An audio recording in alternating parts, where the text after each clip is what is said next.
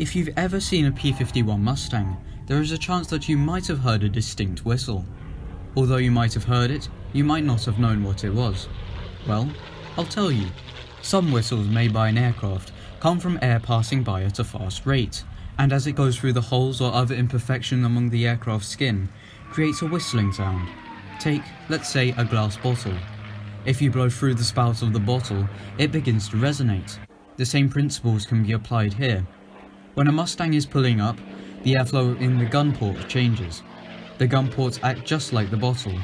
When blowing straight on top of the bottle, no sound comes out. When blowing from an angle, the whistling occurs. This is why this iconic fighter whistles when pulling out of a dive or a sharp maneuver.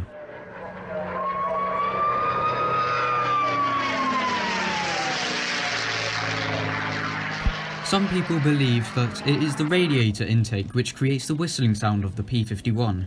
However, all Mustangs have it, but not all whistle. This is because some Mustangs, gun ports are covered up. For instance, take an airworthy TF-51D and a P-51D.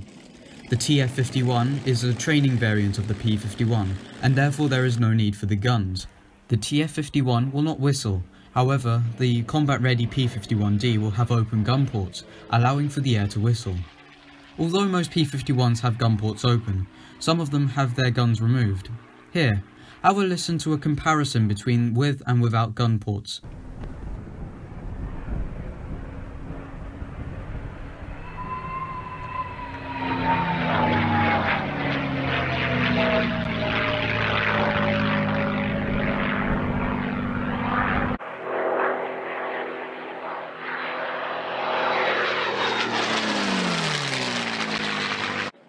Thank you very much for watching this short video on the P51.